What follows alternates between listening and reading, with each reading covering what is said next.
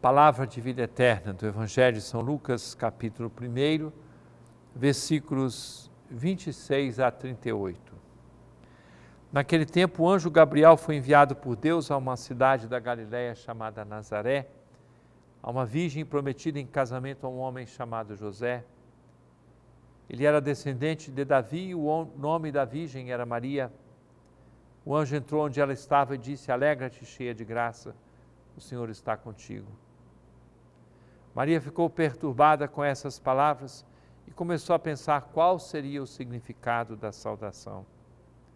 O anjo então disse-lhe: Não tenhas medo, Maria, porque encontraste graça diante de Deus. Eis que conceberás e darás à luz um filho, a quem porás o nome de Jesus. Ele será grande, será chamado Filho do Altíssimo, Senhor Deus lhe dará o trono de seu pai Davi ele reinará para sempre sobre os descendentes de Jacó e o seu reino não terá fim. Maria perguntou ao anjo: Como acontecerá isso se eu não conheço homem algum?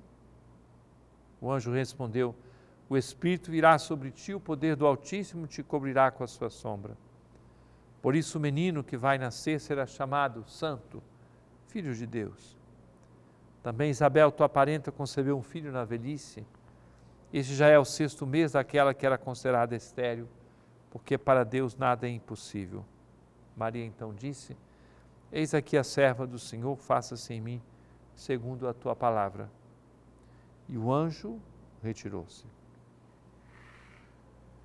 Não tenhas medo, Maria, pois encontraste graça diante de Deus. Preciosidade do plano de Deus com o qual Nossa Senhora se compromete. Certeza de que Deus olhou para a sua pequenez, como depois ela canta no Magnificat.